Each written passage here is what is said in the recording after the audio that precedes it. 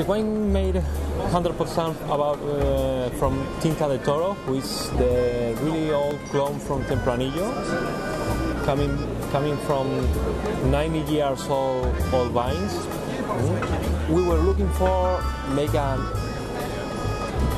elegant wine of Toro, you know.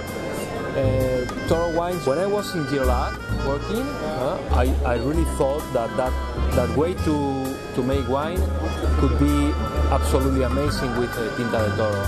So-